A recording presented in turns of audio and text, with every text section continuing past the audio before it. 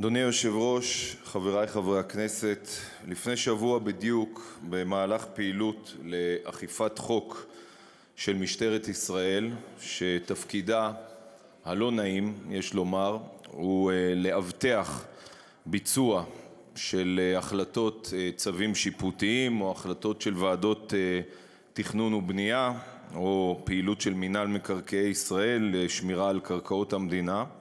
במהלך הפעילות הזו לאכיפת החוק, יחד עם גורמים נוספים, פעילות שהתבצעה ביישוב הבדואי הבלתי חוקי לפי קביעת בית-המשפט העליון של מדינת ישראל, אום-אלחיראן, נדרס למוות רס"ב ארז עמדי לוי על-ידי תושב המקום.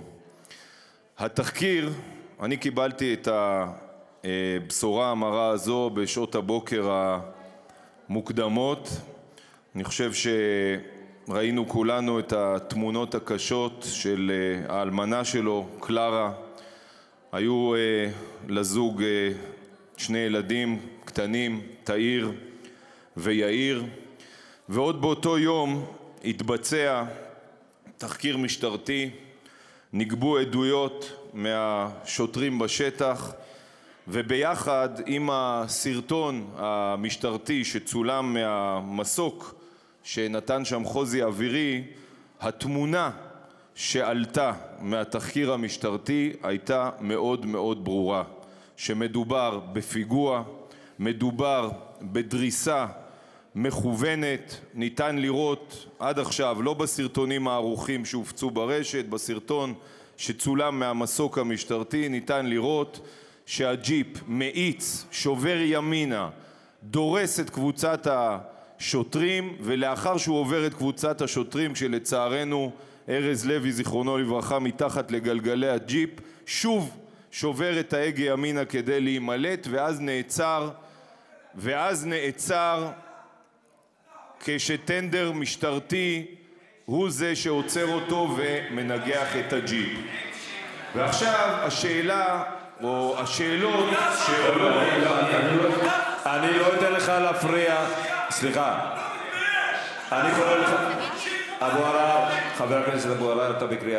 לא, תעמוד כאן ותגיד לו, אה, אתה בושה. השר מגיב, אני מבקש. אתה בקריאה ראשונה, בבקשה, אדוני השר.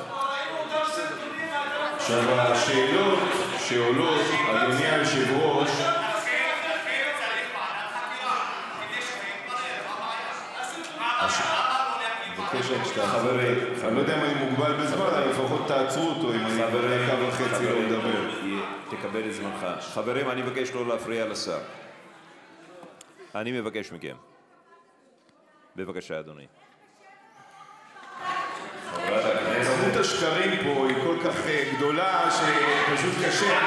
שקר-שקר, אה, זהבה. שקר-שקר.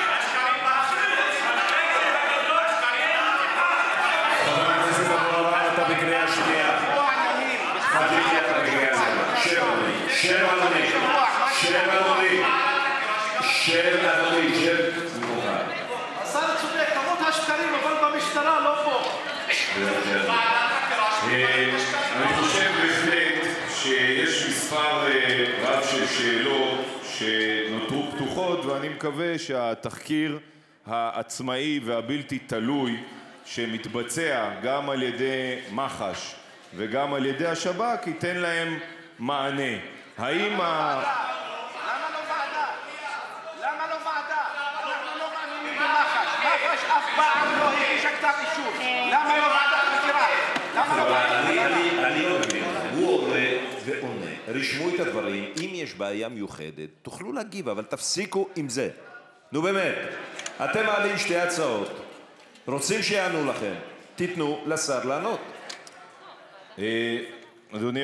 אני אשמח אם תגן עלי קצת יותר ביעילות, כדי שאני אוכל לדבר ברצף. אה, התחקיר המשטרתי... תודה על המלצותיך. בבקשה. התחקיר המשטרתי באותו יום העלה באופן ברור שמדובר בפיגוע. אני, כשר לביטחון פנים שמופקד על משטרת ישראל, קודם כל, תאהבו את זה או לא תאהבו את זה, נותן גיבוי לכוחות שלי בשטח. מדובר ביישוב בלתי חוקי, מדובר בנהג דורס שלא אמור היה להיות איפה שהוא היה ולא אמור לנסוע לכיוון, לא אמור לנסוע לכיוון כוחות המשטרה.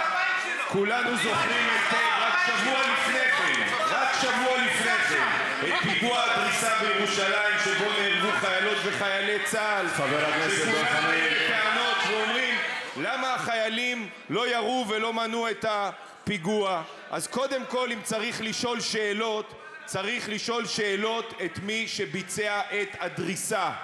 וחוץ ממי שביצע את הדריסה, יש עוד כמה... חבר הכנסת אבו עראר, קריאה שלישית, אני מבקש ממך, לצאת החוצה. לצאת החוצה. לצאת החוצה. לצאת החוצה. אתה עבריין פוליגן, אתה עבריין פוליגן שאם האינטרס הפוליטי אז תמר זנדברג הייתה שואלת אותך שאלות אחרות חבורת צבועים אני חושב, אני חושב, אדוני היושב-ראש, שיש באמת... הרבה חבר דברים- הכנסת מסעוד גנאים, אתה בקריאה ראשונה. אני קורא אותך לסדר פעם ראשונה. גם אותך. חבר הכנסת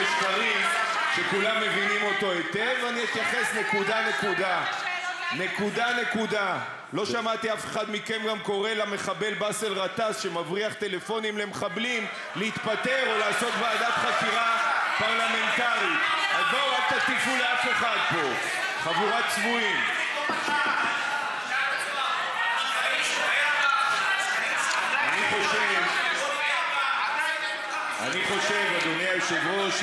את פשוט צבועה, זהבה, תתביישי לך, אל תשתהי בשקט ולא תדברי. מה, אתם רבים על קולות עכשיו ביניכם?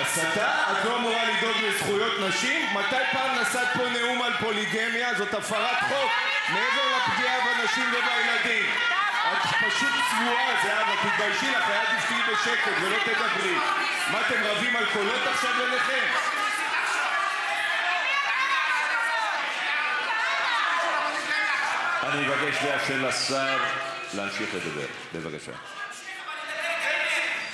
אדוני היושב-ראש, אני חושב, שיש בהחלט אה,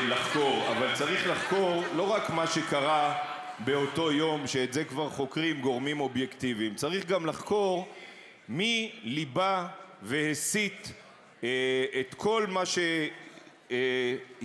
שהתרחש באום אל-חיראן וגרם לכך שכששואלים מדוע צריכים להגיע מאות שוטרים בבוקר ולהיערך באופן מבצעי כדי לאבטח את הכוחות, למה זה קורה? אז אני אסביר לך ולאזרחי מדינת ישראל למה זה קורה.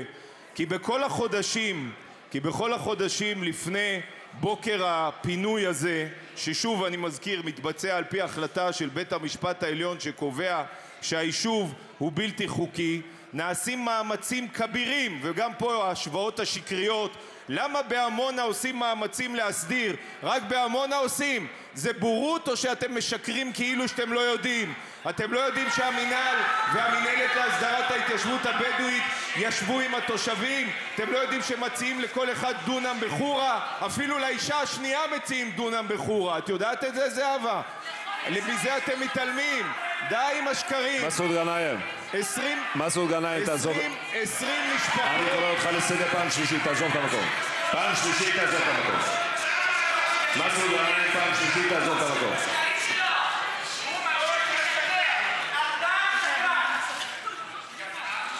הקמפיין שלכם לא יעבוד, אנחנו לא נירתע מלהמשיך לאכוף את החוק, לא יעזור. האווירה וההסתה וליבוי האלימות בעמונה הבאתם חוק, אדוני השר. חוק הסדרה הבאתם במיוחד. האירוע הזה והאווירה המתוחה וכל מה שקרה שם קרה במקרה, הוא קרה כי למרות שאנחנו כממשלה הצלחנו באמת להגיע להבנות עם 20 משפחות שבתמורה לעזיבת הבית הבלתי חוקי שהם בנו הם אה, קיבלו אה, מגרש והשתתפות כספית גם בעלות התשתיות בדיור חלופי היו מי שליבו את האש ואת ההסתה ואת התחושות שם בחודשים שקדמו ליום הקשה ההוא. ואני אזכיר, הסרטון הזה אה, מופץ ברשת ומתועד ולגביו אין פרשנויות. חברי הכנסת של הרשימה המשותפת נפגשו פעם אחר פעם עם תושבי אום-אלחיראן וכך אומר להם חבר הכנסת זחאלקה, ציטוט: אם יישפך דם, אז יישפך דם. והוא ממשיך: הם, הם זה הממשלה, צריכים לדעת שבנושא הזה אנחנו משוגעים. אנחנו, בני העם הפלסטיני, בנוגע אלינו, אנחנו מוכנים למות ולא לעזוב. נכבה שנייה בנגב לא תהיה. הם צריכים להבין את הנקודה הזו. המשיך אחריו ראש הרשימה, זה שמציג את עצמו כאיש פיוס ודו-קיום, תחפושת שקרית, שאמר באותו אירוע מתועד כך: אנחנו נלך עם הנושא הזה עד הסוף. עד הסוף. אולי תסביר לנו, חבר הכנסת עודה, מה זה ללכת עד הסוף. יכול להיות שראש עיריית נצרת, עלי סלאם, מכיר אותך יותר טוב מאיתנו, ולכן לא במקרה הוא אמר לך בחודש אוקטובר 15, כשהוא גירש אותך מעירו, מנצרת, הרסתם לנו את העיר, לך מפה. מה אתה עושה בשבילנו? אתה לא עושה כלום, שרפתם את העולם. זה התיאור המדויק של הפעילות שלך, איימן עודה. ולסיום אמרת כך: לעולם לא נקבל את המצב הנוכחי, לעולם לא. וגם גיבורת משטי הטרור נגד מדינת ישראל, חברת הכנסת חנין זועבי, לא טמנה את ידה בצלחת ואמרה לתושבי המקום: זה מאבק על החיים שלנו ועל האדמה שלנו. אז עכשיו, חברות וחברי הכנסת, לא מדובר הרי בדיון תיאורטי אקדמי, מדובר בנאומים שחברי הכנסת של הרשימה המשותפת נשאו בפני התושבים על רקע הפינוי הצפוי של יישוב בלתי חוקי. ולכן כשאנחנו שואלים מה הוביל לתוצאה הקשה של מה שקרה באותו יום, אז קודם כל מה שצריך לחקור זה את האווירה שמי שייצר אותה אלה חברי הכנסת המסיתים. אותם חברי כנסת שקשה מאוד לשמוע מהם גינויים פומביים למה שעושה חברם לרשימה שמבריח פלאפונים לטרוריסטים שמכווינים איתם לאחר מכן עוד פיגועים, לעבירות על החוק שפוגעות בנשים וילדים כמו פוליגמיה שלעולם לא נשמע לא מכם ולא ממרץ בצביעות של האמירות פומביות, פומביות. וגם על זה אתם צריכים להיחקר ואולי אפילו לשאת באחריות פלילית. ולא במקרה חברת הכנסת זנדברג, אני פניתי ליועץ המשפטי לממשלה בהחלט כדי לבחון את ההתבטאויות הללו. עכשיו אני אדבר קצת על למי באמת אכפת מאזרחי ישראל הערבים ולמי לא. אני, מאז שנכנסתי לתפקידי כשר לביטחון פנים, שמתי בראש סדר העדיפויות, לא רק במילים, גם בתקציבים, את השוויון במתן שירותי אכיפה ביישובים הלא-יהודיים. ביקשתי מכם עזרה, ביקשתי מכם שיתוף פעולה. פעם ראשונה בהיסטוריה, פעם ראשונה בהיסטוריה שמשטרת ישראל מפרסמת בערבית קוראת לצעירות ולצעירים מוסלמים להצטרף למשטרת ישראל. פעם ראשונה מאז קום המדינה, זה לא קרה במפא"י, זה לא קרה במפלגת העבודה, שמתמנה ניצב ערבי מוסלמי, ג'מאל חכרוש, כדי לבנות אמון, כדי לסייע לכם, לכם, לעזור לאזרחים שאתם מתיימרים לייצג. את זה שיש 60% ממעשי הרצח בישראל שערבים רוצחים ערבים, זה לא קורה בגלל משטרת ישראל. זה קורה בגלל שבמקום לייצג את האזרחים שלכם ולהתמקד במה שחשוב, אתם פועלים רק למען האויב הפלסטיני. בזה מה שאתם מתעסקים. אתם הופכים הכל לעימות לאומני. אתם הופכים הכל לעימות לאומני. שום דבר אצלכם לא נעשה כדי באמת לייצג את האזרחים שאתם אמורים לייצג. הם אלה שסובלים ביום-יום מתאונות הדרכים והמעורבות שלהם בתאונות הדרכים,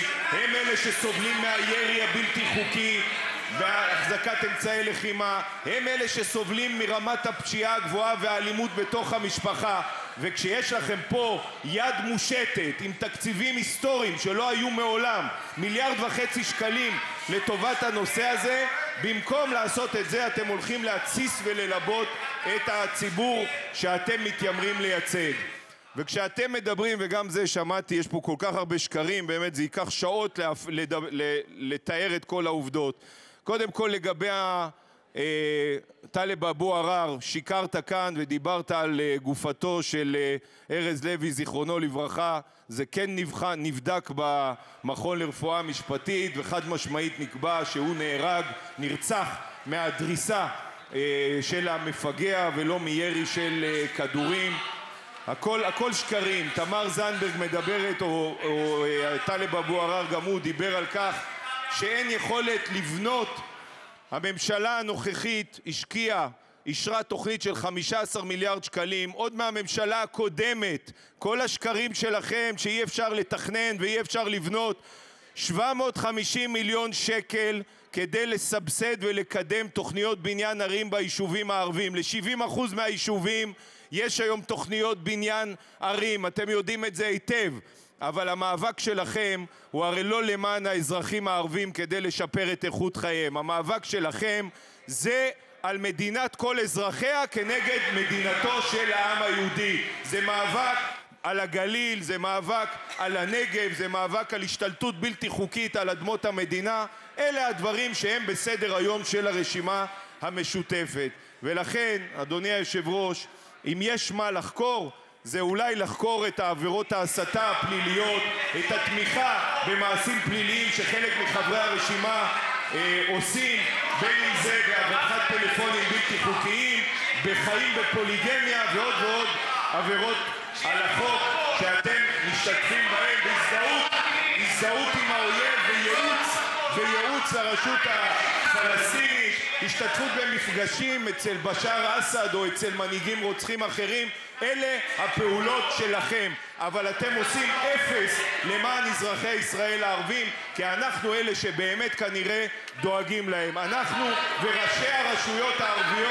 שמשתפים איתנו פעולה למען אזרחי ישראל הערבים. ולכן, אדוני היושב-ראש, אני מבקש מהכנסת אה, לדחות את הצעת, ההצעה להקמת ועדת חקירה פרלמנטרית. תודה.